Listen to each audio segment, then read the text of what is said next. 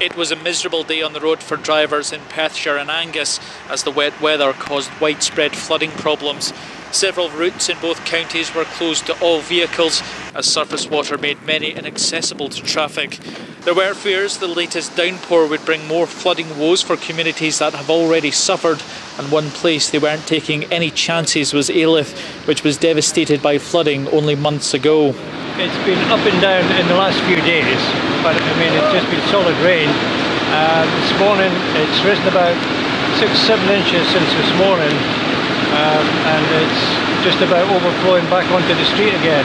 You've got two extremes there. You've got people that have just moved back into their properties, so they'll be anxious, and there's people that are not yet back in their properties, and there's certainly businesses that are, are not up and running at this moment in time. So um, yeah, it's it's a concern. The news isn't getting any better for motorists, with persistent rain expected to continue across Perthshire, Angus, and Dundee.